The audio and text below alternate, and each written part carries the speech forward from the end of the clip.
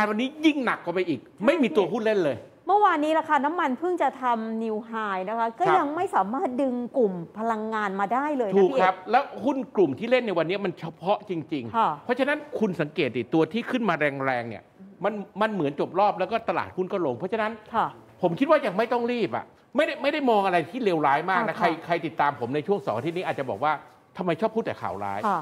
ไม่ได้ไม่ได้มองอะไรที่ร้ายมาก แต่คิดว่ายังไม่เสด็จน้ำถ้าใช้คำนี้อืมค่ะ จังหวะการลงทุนอาจจะยังไม่เอื้อ แต่ว่าถ้าเราจะดูนะคะ ตอนนี้ตลาดหุ้นเนี่ยครัมีบมุมมองอย่างไรบ้าง เราคงไปดูเรื่องของการระบาดแล้วก็ประเด็นสำคัญ ทั้งเตียงขาดในกทม ตัวเลขผู้ติดเชื้อ หุ้นที่รับมือกับโควิดพุ่งต่อเนื่องครับอต้องบอกว่าตรงนี้มันอยู่ที่พัฒนาการวัคซีนด้วยนะคะครับหุ้นพวกนี้จะไม่มีประสิทธิภาพเลยถ้าวัคซีนมันมาตรงตามกำหนด ฉีดวัคซีนกันอย่างต่อเนื่อง และเป็นไปโดยประสิทธิภาพที่ดีคือวันละ 5 0 0 0 0 0คนเนี่ยทำได้จะดีมากครับแต่ถ้ายังไม่ได้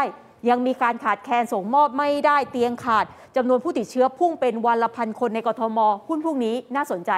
เริ่มกันที่ผู้ติดเชื้อสูงสุด รุ่นหุ้นโรงพยาบาลนี่มาผมให้ดแล้อวกจันเลยวันนี้ใจตรงกับผมเลยนะเอาเหรอครับผมพี่ก็เอกแนะนำหุ้นโรงพยาบาลค่ะนะครับถามว่าทำไมแนะนำหุ้นอ๋อโรงพยาบาลคือ ในภาวะลักษณะอย่างเงี้ยไม่ว่าเรื่องวัคซีนค่ะมาแรกๆ ที่มีความต้องการวัคซีนเยอะ ไม่ว่าในสถานการณ์ที่ระยะค่ะสั้นเป็นตอนนี้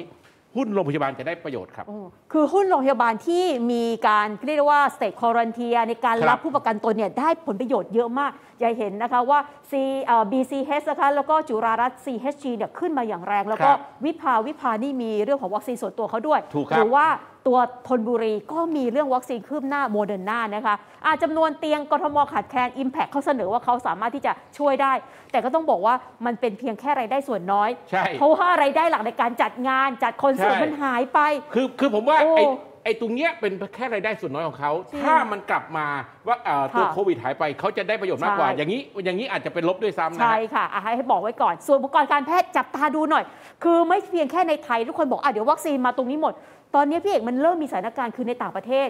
ประเทศที่ฉีดวัคซีนอย่างไฟเซอร์ อย่างเช่นอิสราเอล ปรากฏเจอผู้ป่วยโควิดอีกรอบหนึ่งพี่เอก รอบสี่แล้วใช่ไหมรอบสี่ทั้งที่เขาบอกว่าอ๋อเขาจะเขาฉีดเอ่อไปประมาณ 60%ของพื้นที่ประชากรเรียบร้อยครับแล้วครับไม่ต้องใส่หน้ากาก ตอนนี้กระทรวงสาธารณสุขของอิสราเอลอืมให้ประชาชนใส่หน้ากากใหม่งดเดินทางแล้วนะคะ ดังนั้นถ้ารอบนี้ถุงมือยางก็ต้องใช้ ใช่อะสองตัวนี้ไม่มาจะมีปัญหาแล้วนะพี่เอก STA กับ STGT เมื่อวานฐาน Talk เราแนะนำไปแล้ว แต่ไม่ขึ้นนะไม่ขึ้นอะพี่เอกไม่ขึ้นถ้ารอบ อย่างนี้ข่าวอย่างนี้ยังไม่ขึ้น ผมว่าเหนื่อยแล้วครับเหนื่อยนะอยคะแล้วครับอะมาดูหุ้น defensive อันนี้เรียกได้ว่ารองรับสถานการณ์เวลาตลาดหุ้นลงครับโรงไฟฟ้าพี่เอกไม่มีไม่ได้นะ มีติดถูกพอร์ตไว้อีกหน่อยละกันครับให้ GULF นะคะ แล้วก็ BGRIM EGCO นะคะ แต่ความจริงหุ้นขนาดเล็กก็น่าสนใจ แต่เอาหุ้นที่ชัวร์ๆไว้ก่อนอ่าผลประกอบการไปต่อได้ และนี่ค่ะ ประกาศมาล่าสุด การส่งออกของไทยรอบเดือนพฤษภาคมโต 41%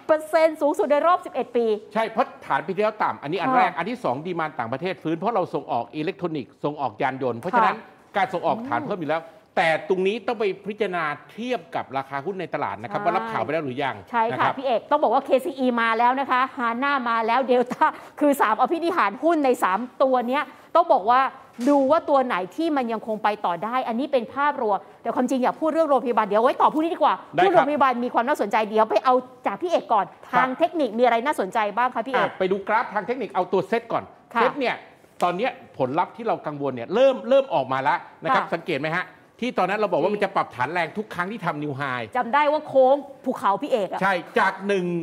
1 6 4 2 ตอนนี้ค่ะตัวเลขวันนี้ต่ำกว่า 1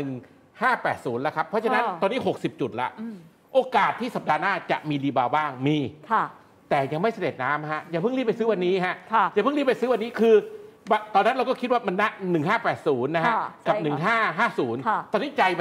1550 ลงไปอีก ใจไป 1550 แต่ แต่ใกล้สะเด็ดน้ำแต่ยังไม่ใช่วันนี้ ยังไม่ใช่วันนี้ใจเย็นๆนะครับค่ะเพราะฉะนั้นทุกครั้งที่ดูนะครับ ที่มัน new high เนี่ยมันจะมันจะปรับฐานแรงทุกครั้งฮะค่ะพี่ไปไปลองไล่ๆดูมันจะเป็นอย่างนั้น เพราะฉะนั้นวันนี้ผมต้องเลือกหุ้นที่คุณนินาเมื่อกี้บอกว่าได้รับประโยชน์ในช่วงของโควิดใช่ผมเลือกตัวเดียวก่อนครับ ในช่วงนี้ผมยังกราดสูงอยู่ฮะค่ะทั้งโควิด -19 ก็กราดสูงค่ะพี่เอกทั้งเรื่องหุ้นก็ต้องกราดสูงฮะสูงวันนี้ผมเลือก THG ครับเพราะได้รับโอ้ค่ะผลบวกจากเรื่องของสถานการณ์ปัจจุบัน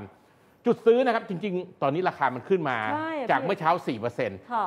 27 ก็ยังไม่แพงนะ ผมคิดว่ายังไม่แพง เพราะผมคิดว่าเลข 3นำหน้ามีโอกาส อ๋อค่ะ คือต้องนะครับบอกว่าเขามีปัจจัยเรื่องการนำเข้าโมเดอร์นาแต่โมเดอร์นาเพิ่งประกาศวันเนี้ยไตรมาสสี่ถึงจะมาความจริงคิดว่าไตรตุมาลาสสาตุลามประมาณตุลาเอาตุลานะคะ ถ้ามาจริงโอ้โหเรียกว่ามาเท่าไหร่หมดเท่านั้นครับคนจองซื้อจองฉีดเยอะครับราคาที่บอกว่าเมื่อกี้ 30 บาท น่าจะได้เห็นราคารับแล้วคะพี่เอกราคารับแถวนี้นะฮะ26 75 27 คือประหยัดหน่อยคือมันขึ้นจากเมื่อเช้ามา4%ค่ะเพราะฉะนั้นถ้าคุณได้ต่ำกว่า 27 ก็ดี แต่ถ้าไม่ได้ต่ำกว่า 27 เอาสัก 27 บวกลบนะครับค่ะจุดถอยคือ 26 เป้าหมายต้องถือหน่อยนะฮะไม่ใช่ค่ะวันเดียวนะฮะ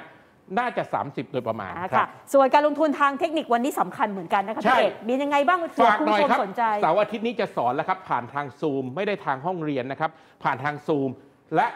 เอกสารมีจำนวนจำกัดแล้วครับค่ะพี่เอกคือเอกสารผมเตรียมไว้จำนวนเดียว แล้วก็เวลาใครรับเอกสารเราส่งโดยไปรษณีย์ไทย EMS เพราะฉะนั้นค่ะเวลาส่งเนี่ยมันก็จะระยะเวลาจะต้องมีนะครับใครสนใจก็โทรไปที่เบอร์ 082 668